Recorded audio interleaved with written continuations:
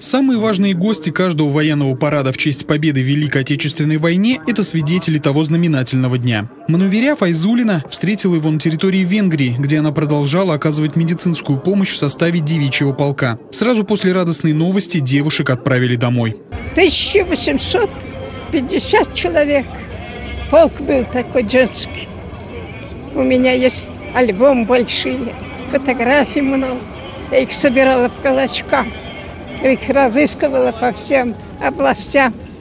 И вот они у меня есть как память. А рядом с героями прошлого века – герои века нынешнего, те, кто сегодня защищает родину от нацизма. Один из них – Вадим Перфилов, который впервые оказался на одной трибуне с участниками Великой Отечественной войны. Признается, что очень взволнован такой оказанной честью.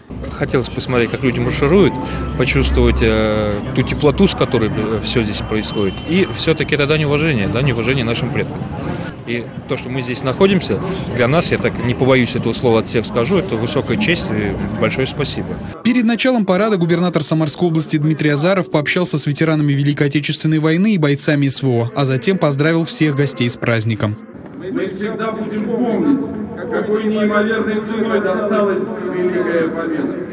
Никому и никогда не позволим опорочить священный подвиг нашего народа, народа труженика, народа победителя.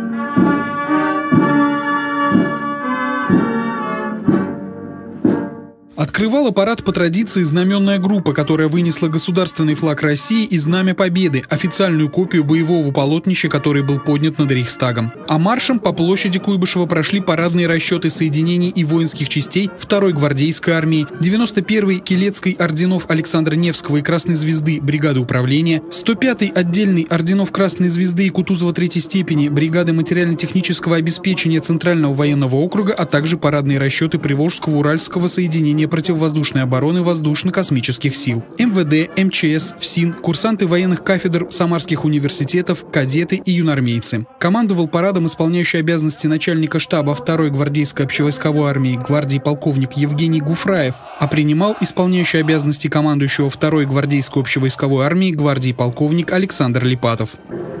Свято несем память о воинах Великой Отечественной войны, героически сражавшихся за Родину, на передовой, о тружениках тыла, дни и ночи,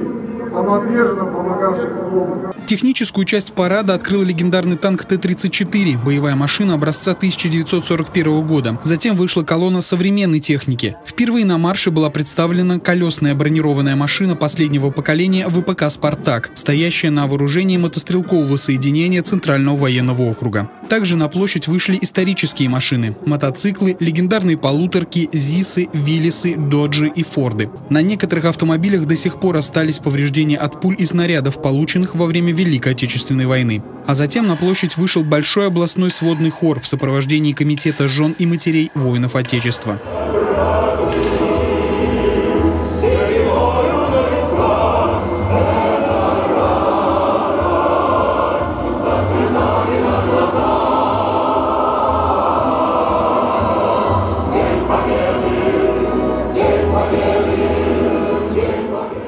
В завершении парада на экранах на площади Куйбышева показали прямую трансляцию обращения президента России Владимира Путина с военного парада на Красной площади в Москве. Андрей Горгуленко, Константин Головин, Николай Епифанов. События.